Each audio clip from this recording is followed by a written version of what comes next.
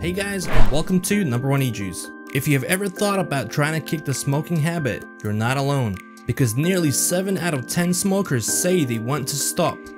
Quitting smoking is one of the best things you can do for your health. Smoking harms nearly every organ in your body, including your heart.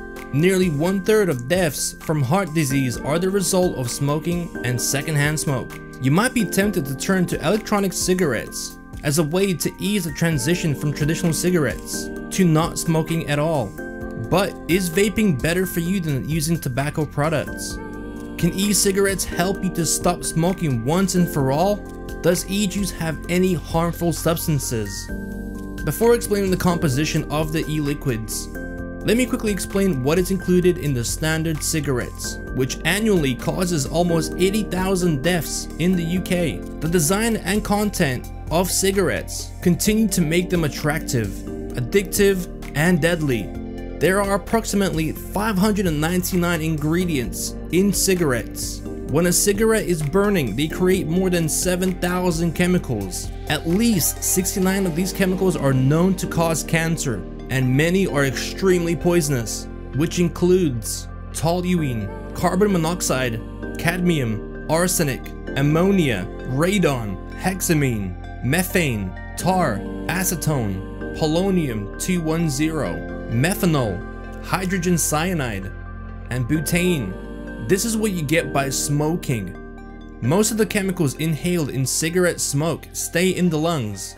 The more you inhale, the greater the damage to your lung. Electronic cigarettes have at least 99% less toxins in them. That's because e-liquid are made mainly of four components. PG, which is propylene glycol, VG, which means vegetable glycerin, nicotine, and flavoring. Those four substances you will find in your e-liquid. The most mysterious sounding components are VG and PG, which I will soon explain. But first, let me explain the obvious ones. Nicotine in e-liquids can come from a variety of different sources, but it most notably is extracted from a plant in the tobacco family. Synthetic tobacco also exists. However, it's not a typical source for the nicotine in e-liquids because it is extremely costly to produce. In spite of common opinion, nicotine is one of the less harmful substances inhaled along with the smoke of traditional cigarettes. Its harmfulness is sometimes compared to caffeine, although it is also not indifferent to health and is a highly addictive chemical. The e-juice flavoring is obtained by adding different aroma substances to the e-liquids. They contain many of chemical substances that create specific flavors. However, each aroma has substances that was certified by medical institutes and are safe for the human body. Aromas can be extracted artificially or naturally. A common belief is that foods made with natural flavorings are healthier than those containing artificial flavor. However, researchers say there is no nutritional difference between natural and artificial flavorings. Okay, so we already have substances that we want to deliver to the body. Why add more? We all need to have something where we can dissolve nicotine and flavor, and there comes both VG and PG, the main ingredients which e-juice is made of. Both of these substances are non-toxic, organic ingredients, mostly tasteless and odorless, which is also scientifically recognized as safe for the human body. Vegetable glycerin, also known as glycerol or glycerine, is a clear liquid typically made from soybean, coconut, or palm oils with a syrup-like consistency. This chemical substance is made by heating vegetable fats under pressure or together with a strong alkali. Vegetable glycerin is widely used in the foods, cosmetics, and pharmaceutical industries. For instance, it is often added to foods to help oil and water-based ingredients mix, sweetening or moisturizing the final product. It can also be used to prevent ice crystals from forming in frozen foods such as low-fat frozen yogurt, ice cream, and other desserts.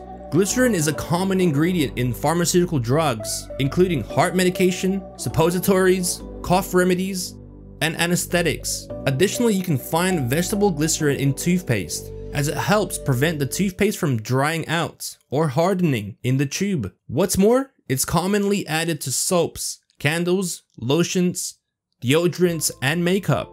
Propylene glycol is an organic chemical compound soluble in water on an industrial scale. Propylene glycol is obtained by hydration of propylene oxide. A number of animal tests were carried out and based on these tests, the harmfulness of this substance to the human body was determined to be insignificant. The inhalation of propylene glycol vapor, in the light of current knowledge, it is not at all risky to your health. The important thing is that glycol does not accumulate in the body. Propylene glycol is widely used amongst food and chemical industries, in hygiene products and cosmetics, in medicine and pharmacy. So why use both and not just one? This is because both ingredients have different consistencies and properties. While VG is more denser, it slightly dissolves the taste, but it produces much more vapor. On the other hand, PG improves flavor and gives a better throat hit experience. It all leads to individual preferences, where those two components are most often mixed together in different proportions. So remember, if you like big vapor clouds, go for that VG, but you'll be sacrificing the taste. But if you prefer better taste and throat hit, you will want to choose a juice based on PG. Are e-cigarettes harmful? Now the evidence suggests that vaping is far safer than smoking. Electronic cigarettes do not contain tobacco, which causes the damage from smoking, or a chemical reaction from burning.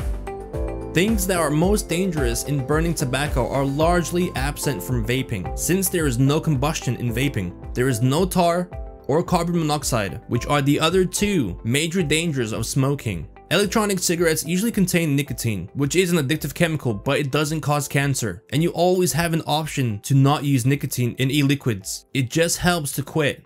An estimated 2.9 million adults in Great Britain currently use e-cigarettes, and of those, 1.5 million people have completely stopped smoking cigarettes.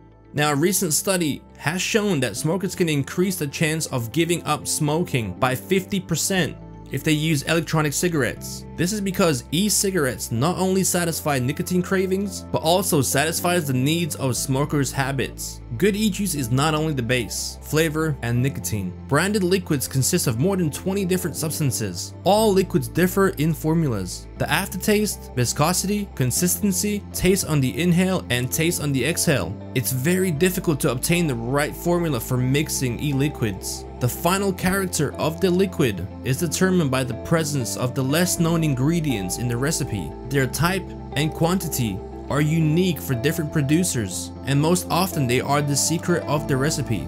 Liquids bought from reliable and recognizable manufacturers will provide the user with much greater satisfaction. Using e-liquids of known manufacturers is the basis and one of the aspects of proper use of e-cigarette. It is worth checking whether you can find information on the composition of the product and the company that produced it. Following by such information, we limit the risk of buying a defective product.